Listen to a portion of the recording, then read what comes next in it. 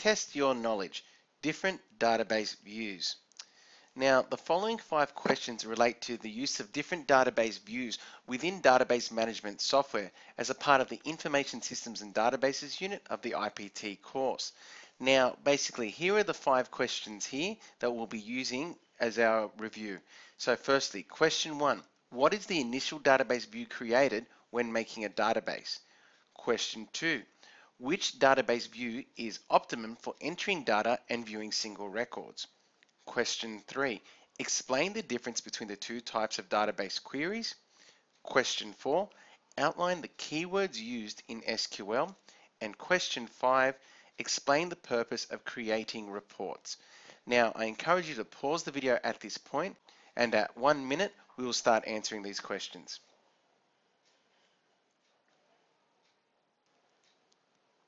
Now, before we start answering these questions, let's do a quick review of the different database views. So we have a form, okay, which gives us text boxes and labels in different areas, which is used for entering in single database records. Okay, it obviously gives us one record per interface, and we can enter in all the data related to that record in the form view, which is what it's optimum for. We have SQL, which is used for running database queries. Here we use the different keywords, select from where and order by, in order to create our queries.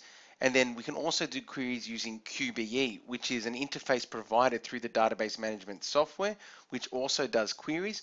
Okay, and in, in, that one, it actually sets it up so you can actually type in your actual query into certain boxes and it runs it automatically. So it's a lot easier. We have a database table, which is obviously the initial view that which databases are created in. Okay, it displays all our records line by line. It's very congested, but shows all our records within the database, okay, all at once.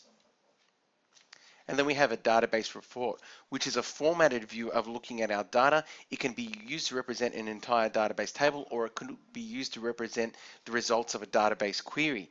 Okay, so basically it's formatted and we can have whatever records we want in there. Okay, and it's good for displaying data, whether it be on screen or printed off.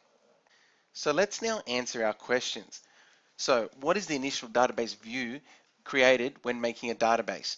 So that is a database table. When we first create our database, we're presented with the big grid. We can start typing records straight into this database table, though it is very congested and tightly packed. It's not the best way to enter in um, data into a database, which leads us to question two.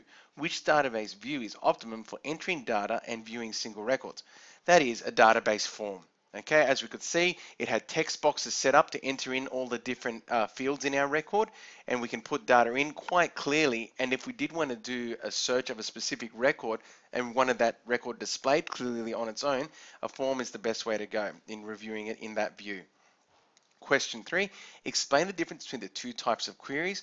Essentially, they were SQL and QBE. SQL uses uh, the specific syntax okay, in order to conduct its searches. So it made use of the keywords of select, which represents the fields, from, which represents the tables being used in the search, where is the condition that the search is being based on, so maybe all um, surnames that start with A, and then order by, okay, ascending in alphabetical order or descending, reverse alphabetical order.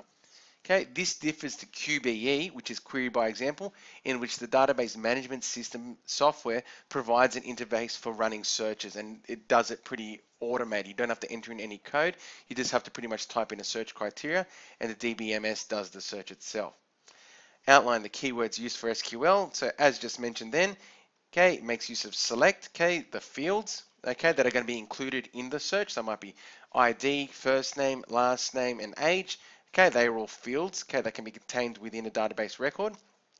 And then you say the specific table. So if it's a situation like school, it may be students, teachers, and classroom are the tables we're going to be using in order to do our search. So we're going to say the specific tables where our entities will be being pulled from. Where is the condition? So as mentioned before, it might be last names that start with A, okay, and then order by, whether it's alphabetical or not in alphabetical order. And then finally, explain the purpose of creating reports. Okay, and basically a report is a formatted overview of data.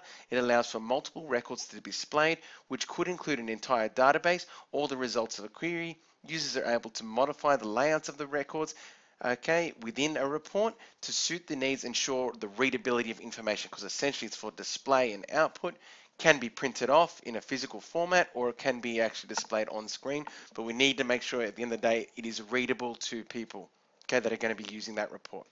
So I hope you answered all these questions correctly and it's given you a good understanding of the different database views and really made you confident answering questions related to this in an exam.